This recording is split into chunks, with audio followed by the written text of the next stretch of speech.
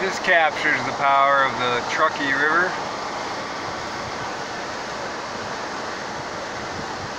Power and beauty. A lot of snow melting up here at this time.